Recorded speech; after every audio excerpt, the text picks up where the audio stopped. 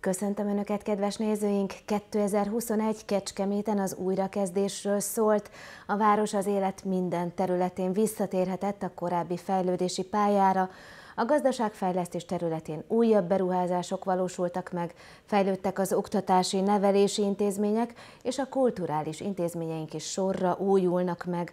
Az év legfontosabb eredményeit Szemereiné Pataki Klaudiával, Kecskemét város polgármesterével vesztük sorra. Jó estét kívánok, köszöntöm! Jó estét kívánok, köszönöm a meghívást! 2021-re még mindenképpen rányomta a bélyegét a Covid járvány sajnos. Mi mindent tudott tenni a város vezetése annak érdekében, hogy enyhítse a Covid által okozott károkat, hatásokat? Hát ugye 2021 első fél éve egy rendkívüli veszélyhelyzettel telt el, az első fél évben, sőt február-március hónapban igazából teljesen leállt az élet, csak azzal voltunk elfoglalva, hogy hogyan védekezzünk, hogyan óvjuk meg egymás segítségét, hogyan óvjuk meg egymás egészségét, hogyan vigyázzunk egymásra, és hogy az egészségügyi ellátórendszerünk ne roppanjon bele abba a hirtelen ö, nagy terhelésbe és hát természetesen, hogy lássuk a kiútat is, hogy mi ennek a megoldásnak a kiútja, hogy az oltás kampány elkezdése, és az oltásra való buzdítás, az oltással szembeni félelmeknek az eloszlatása, azzal kapcsolatos meggyőzése, és hogy levegyük a terhet egymásról, az egészségügyi ellátó és a szociális ellátó intézményeinkről. Ez egy rendkívüli hónapok és rendkívüli erős és nehéz hónapok voltak. Covid járvány nyilván mindenkire valóban plusz terheket rótt, de ennek ellenére is tudott fejlődni Kecskemét városa. Ha a gazdaság területét nézzük, akkor ott is, és nem is kis lépéseket tett, hiszen például a Mercedesnél is egy nagyon nagy bejelentés történt az idei évben. Ugye Kecskemét ugye rálépett 2010-ben erre a lendületes pályára, ezt igazából nem látom még megtörni.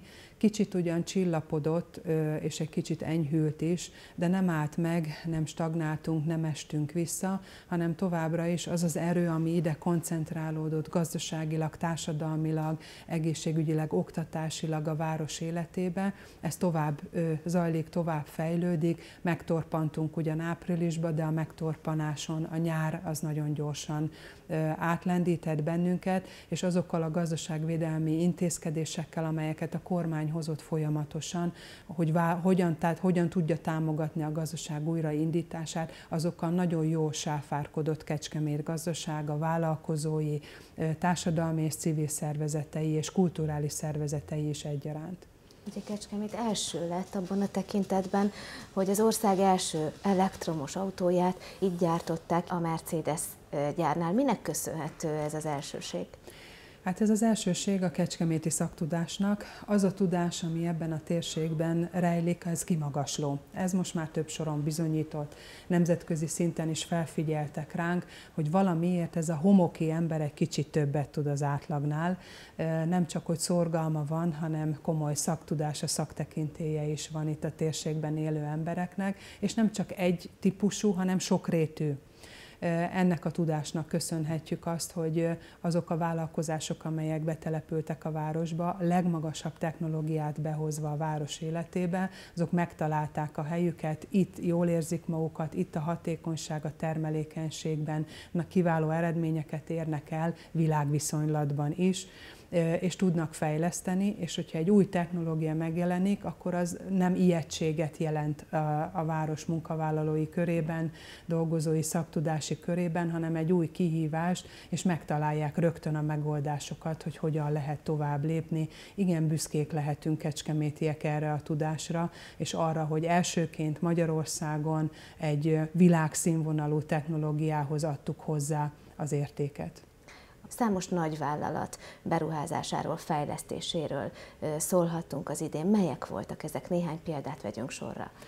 Hát ugye a legrégebbi fecskéink is fejlődnek, külföldi tulajdonú, elsősorban ezt szeretném hangsúlyozni, hogy a Hirti akire szintén büszkék vagyunk, az első befektető, külföldi befektető a városban is úgy gondolja, hogy a 90-es évek óta itt rendületlenül megtalálta a számítását és fejlődik. Ő is egy szintet lép, majd hogy nem megduplázza a termelési értékét ezzel az új fejlesztéssel, amit elindított. De számunkra ami kedves, hogy a magyar vállalatok is megtalálták, a magyar vállalataink is, és csúcs technológiában megtalálták azt a lehetőséget a piacon, amivel tovább tudtak lépni. Itt érdemes megemlíteni az Ervent technológiáját, hiszen főleg a pandémia idején, a vírushelyzet idején egy olyan légtisztító berendezést fejlesztettek ki, ami segítségünkre van, ami világszínvonalú, és ugye most már mi is Kecskeméten, de nagyon sok közintézménynél használjuk a termékeiket, de például az Autoflex is egy nagyon régi fecskénk, hiszen Kadafalva városrész nem is fejlődött volna nélkülük, tehát az egész városrészünk Kadafalván és a hozzátartozó térségben a kiinduló és mozgató rugója az Autoflex és a hozzá kapcsolódó ipari parki fejlesztések, és ők is ebben az évben megtalálták megtalálták a továbblépés lehetőségét, és a gazdasági újraindítási akcióból részesültek, támogatást kaptak, és a nemzetközi piacon tovább tudlak fejlődni. A nagyvállalatok munkaerő utánpótlásában minden bizonyal nagy szerepe van a Kecskeméti Egyetemnek. Az egyetem hogyan fejlődhetett 2021-ben?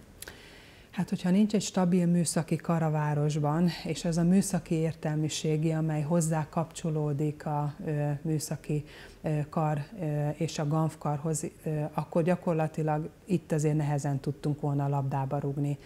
Ez egy óriási értéke Kecskemétnek, hogy helyben van a felsőoktatás, helyben van egy színvonalas, magas színvonalú egyeteme, és olyan karok, amelyek segítik az utánpótlást, tehát nem csak a műszaki kar, hanem gondolok itt a vidékfejlesztési karról is, illetve a gazdálkodási karról is, amely az elmúlt években indult el, és nem is akár hogyan.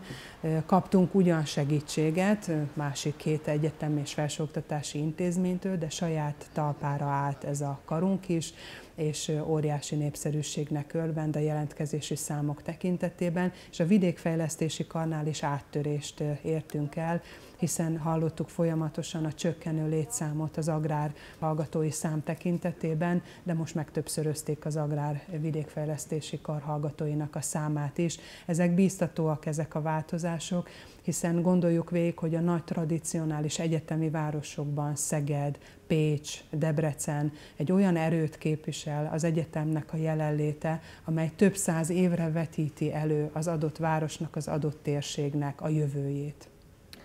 A bölcsödéktől egészen az egyetemig azt gondolom, hogy 2021-ben számos fejlesztés követhető nyomon.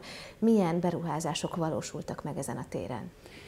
Ugye elsősorban az infrastruktúrális környezetben léptünk nagyot, de természetesen belül az oktató-nevelői munkának a pedagógiai része is folyamatos fejlesztés alatt áll. Odafigyelünk, gondoskodunk a szakmai programok támogatásában, az óvónők pedagógusaink továbbképzésében, fejlesztésében, kiegészítő támogatásokat biztosítunk a kiegészítő programokra, amelyek teljessé teszik azt a nevelői munkát és környezetet, amiben élnek, de nem mindegy, hogy milyen eszközökkel teszik, milyen környezetben, milyen munkahelyi környezetben, ennek is nagyon nagy jelentősége van, és ebben óriási lépéseket tettünk, teljesen megújul az intézményi hálózatunk, új termek, új csoportszobák jönnek létre, új tornatermek, új tornacsarnokok létesültek. Ugye nekem egy polgármesteri ígéretem volt az Rínyi iskolának a felújítása, amit azt gondolom, hogy a maga méltóságában és emblematikus jellemében sikerült felújítani, és nem csak a kisebb felújítás sikerült végigvinni, hanem több fejlesztési területet. Kívül belülről az udvarával együtt ez az intézmény teljes egészében megújult. A másik ígéretem volt a Bányai Gimnázium számára, egy tornacsarnok építése, egy méltó nagyságú tornacsarnok építése, és ugye emblematikus másik gimnáziumunk a Katona József gimnázium, ahol szintén elindult a sportcsarnoknak az építése. Ezek évtizedekre elmaradt ígéretek voltak, amelyeket most megvalósítottunk, és használhatják ezeket a létesítményeket a fiataljaink. A kulturális intézmények is sorra újulnak meg, illetve 2021-ben a pandémia rájuk is azt gondolom, hogy plusz feladatokat és nehézségeket rótt. Igen, a pandémia egy teljesen új lélektani állapotot is idézett elő a város és a közösségeink életébe. Ugye az első fél évben be voltunk zárva. A bezártság érzése az nagyon komoly belső feszültséget okozott, és ezzel találkozok nap mint nap és ezért vagyok hálás, hogy a védekezés megfelelő ütemben történt, a kormány nagyon jó döntéseket hozott a megfelelő ütemben, és meg tudtak nyitni a kulturális intézményeink, közösségeket tudtak fogadni, hiszen egy színész is akkor színész, és akkor érzi jó magát, hogyha játszhat, ha színpadra állhat. A képzőművészeink is úgy érzik jó magukat, ha kiállításon megmutathatják azokat az alkotásokat, amelyek bennük rejlenek és így lehetne sorolni tovább a kiállító tereink, a múzeumunk, a játszóházunk, a Ciróka Bábszínház, amely évfordulót, a Kecskemét Táncegyüttes, a, az Agórának a belső megújulása, a téli fesztiválunk egy új hangulatba öltöztetése, figyelve arra, hogy minden pandémiás szabályt betartsunk, elismerést igényelnek, hiszen mindent, szívüket, lelküket kitették azért, hogy ezeket a negatív hatásokat ellensúlyozzák, ezért van a kultúra kultúra, hogy segítsen bennünket átsegíteni a nehéz időszakon, és a kultúra érték megőrzése az Kecskeméten egy kiemelt szempont és egy kiemelt feladat már régóta. Polgármester asszony, mit tart a 2021-es év legnagyobb eredményének, és mit vár a 2022-től? A 2021-es év legnagyobb eredménye az, hogy a, a városunk azt a harcot, amelyben, amelybe kényszerült, mint gazdaságilag, mint társadalmilag, egészségügyileg, ezt a harcot kiválóan megvívta. Vannak sajnos veszteségeink, és ez szomorít el mindannyiunkat, de azt gondolom, hogy ebből fel kell tudnunk állni, és előre kell tekintenünk, előre kell néznünk, és azok az értékek, amelyek itt hevernek körülöttünk, azokból kell táplálkoznunk, és megtalálni azt, a, azt az utat, ami előre visz bennünket, és a város értékeit megtartja. 2022-es költségvetést nem rég fogadták el. Mi várható ez alapján a jövő évben Kecskeméten?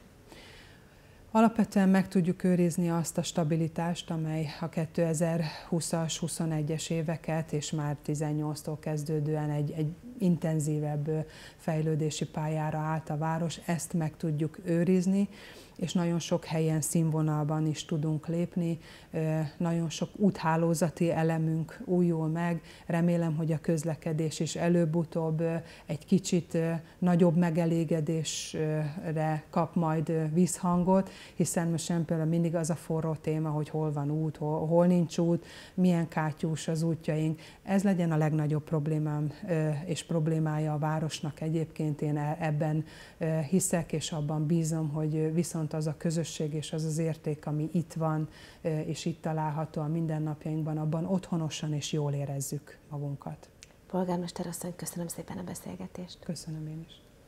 Kedves nézőink, ennyi fért a mai műsorunkba, én már köszönöm megtisztelő figyelmüket. Viszontlátásra!